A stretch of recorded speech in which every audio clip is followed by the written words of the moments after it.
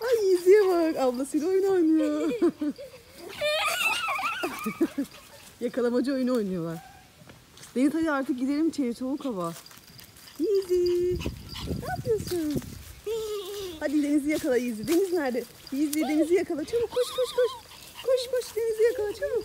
Deniz bak sana bir sürprizim var. Gördün mü? Hangi şeker istiyorsun? Ben bunu Onu istiyorum. Deniz'in en sevdiği şekerlerden. Buldum. istedim. Evet sana burada Türk marketinden buldum ama bir tane vardı Deniz. Hı. Evet bakalım sen tadını beğenecek misin? Düdüklü şeker. Deniz ilk defa bunu deneyecek. Çünkü bizim burada düdüklü şekerimiz yok. Türk marketinden bulduk.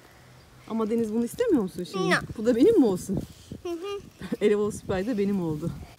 Gelin buraya hadi artık ama Deniz eve gidiyoruz. Bak şekerini de aldın. Hadi gidelim. Ama çok soğuk. Ne oldu?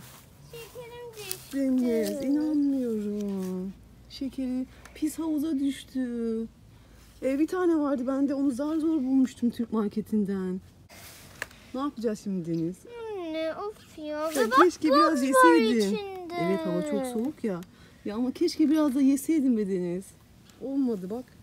Biraz daha bekleyeceksin şimdi Deniz'ciğim. Yapacak bir şey yok çünkü Türk marketine gitmemiz lazım.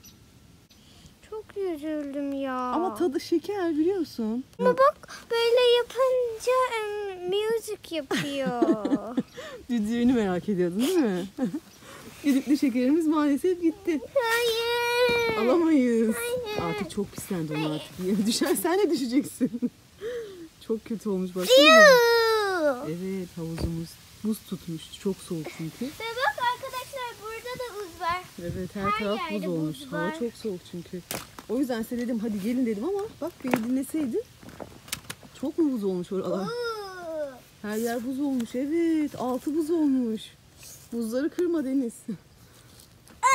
Orada bak gördün mü buzu? Buz olmuş her yer evet.